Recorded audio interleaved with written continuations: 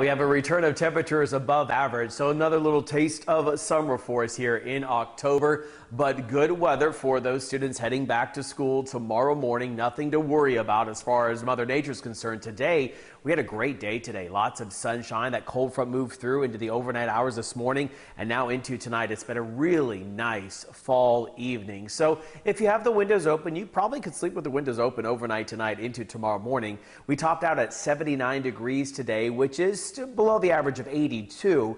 And then we started out at 62 degrees. Now, tonight, we're going to be cooler than that. Already, our temperatures have continued to cool their way on down. As you can see, Dallas' skyline there off in the distance, sitting at 62 degrees. Our winds are out of the east northeast at 5, and that dew point's in the mid 40s. So that's that dry air that's in place. You know, that heats up and cools down pretty quick. So, overnight tonight into tomorrow morning, if you do sleep with the windows open, you might need that little extra blanket. Now it's not going to be cold. It's going to be cool. We'll see 49 in Gainesville to 47 in Bridgeport, 50 in Denton to 54 in Dallas. I know I'll get some emails or some tweets saying, that's cold for me, Scott. Well, yeah, it might be. And, you know, we love temperatures that are like nice and cool or crisp in the morning and then warming up nicely into the afternoon. We'll see that tomorrow back into the upper 70s. So kind of a repeat of what we saw today, a copy and paste kind of day. Lots of sunshine on the way. That all changes, though, going into Tuesday and Wednesday. However, what's also changed, and I can feel it, yeah, I have to say cedar and juniper back in the air for us as far as the pollen's concerned. Now, today was in the low category. Already I can feel that change happening. Tomorrow,